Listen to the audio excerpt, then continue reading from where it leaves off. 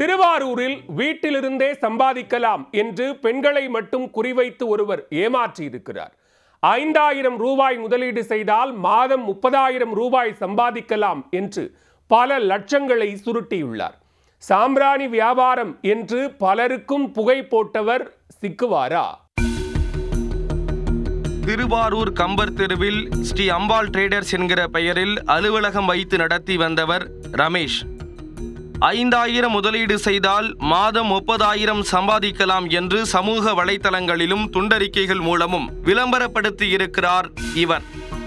குறிப்பாக இல்லத்தரசிகள் மற்றும் மகளிர் சுய உதவிக் குழுவைச் சேர்ந்த பெண்களை குறிவைத்து வீட்டில் இருந்தபடியே நாம் அதிக பணம் சம்பாதிக்க முடியும் என்று நம்ப வைத்துள்ளார்.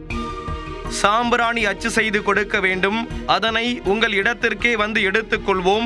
மூன்று வருட ஒப்பந்தம் போடப்பட்டு நீங்கள் கட்டிய டெபாசிட் தொகை ஐந்தாயிரம் ரூபாய் திருப்பி தரப்படும் என்பது போன்ற கவர்ச்சிகர அறிவிப்புகளை ரமேஷ் வெளியிட்டுள்ளார். தனது விளம்பரத்தை திருவாரூரை சுற்றியுள்ள கிராமங்களில் உள்ள பெண்களுக்கு தெரியும்படி கச்சிதமாக கொண்டு சேர்த்துள்ளார். கிராமங்களுக்கு நேரில் செல்லும் ரமேஷ் இல்லத்தரசிகளை ஒரே இடத்தில் கூட வைத்து அவர்களை மூளை செலவை செய்துள்ளார். இதனை நம்பி திருவாரூர் மாவட்டத்தில் உள்ள நன்னிலம் சேங்கனூர் பழையனூர் பிலாவடி நாச்சியார் கோயில் வலங்கைமான் காரியாபட்டினம் பூங்குளம் பகுதிகளைச் சேர்ந்த நூற்றுக்கணக்கான இல்லத்தரசிகள் ஐந்தாயிரம் ரூபாய் டெபாசிட் தொகை செலுத்தியுள்ளனர். மேலும் தங்களது சிபாரிசின் பெயரில் பல பெண்களையும் இதில் இணைத்துள்ளனர். முதலில் சேர்ந்த பெண்களுக்கு சொன்னபடி சாம்பிராணி மூலப்பொருட்கள் சாம்பிராணி செய்வதற்கான அச்சு போன்றவற்றை ரமேஷ் கொடுத்திருக்கிறார். இல்லத்தரசிகள் ரமேஷ் சொன்னபடி சாம்பிராணி அச்சுகளை செய்து வைத்து காத்திருக்க அவற்றை எடுத்துச் செல்ல ரமேஷ் வரவே இல்லை. அவரது செல்போன் எண்ணை தொடர்பு கொள்ள அதுவும் சுவிட்ச் ஆஃப் செய்யப்பட்டு இருந்துள்ளது. அவரது அலுவலகத்திற்கு சென்று பார்த்தபோது அவர் தலைமறைவாக இருப்பது தெரிய வந்துள்ளது. அதன் பின்னரே ஏமாற்றப்பட்டு இருப்பதை பெண்கள் உணர்ந்து ரமேஷ் மீது திருவாரூர் நகர காவல் நிலையத்தில் புகார் அளித்துள்ளனர். அங்கு உரிய நடவடிக்கை எடுக்க முன்வராத நிலையில் அவர்கள் மாவட்ட ஆட்சியர் அலுவலகத்திற்கு வந்து மாவட்ட ஆட்சியரிடம் மனு அளித்துள்ளனர்.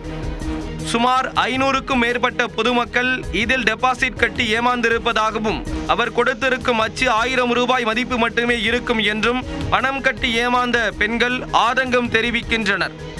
மேலும் ரமேஷ் லட்சக்கணக்கில் பணத்தை சுருட்டிவிட்டு தலைமறைவாகி விட்டதாகவும் அவர் மீது உரிய நடவடிக்கை எடுக்க வேண்டும் என்றும் மாவட்ட ஆட்சியர் அலுவலகத்தில் பெண்கள் புகார் கொடுத்துள்ளனர்.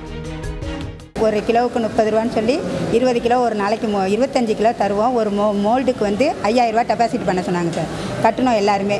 எங்கள் ஊர்லேருந்து ஒரு ப பன்னெண்டு பேருக்கு நான் கட்டியிருக்கேன். பன்னெண்டு பேருக்கும் ஒரு ஒரு ஆளுக்கு ஐயாயிரம் ஐயாயிரம் டெபாசிட் பண்ணியிருக்கோம். அஞ்சு நாளைக்கு ட்ரைனிங் தரோம். அஞ்சு நாளைக்கு வந்து ஒரு நாளைக்கு இருபது கிலோ மாவுக்கு தரோம்.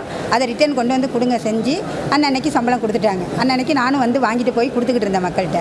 அந்த மோல்டோட வேலை இன்றைக்கி எடுத்துக்கிட்டால் நாங்களும் மகளிர் குழுவில் ட்ரைனிங் போயிருக்கோம் ஆயிரத்தி ஐநூறுரூவா ஆயிரரூபாக்குள்ளே தான் சார் இருக்கும். ஆனால் என்ன சொன்னாங்கன்னா நீங்கள் வந்து டெபாசிட் தான் பண்ணியிருக்கீங்க. இந்த மோல்டோட விலையும் இவ்வளோது கிடையாது.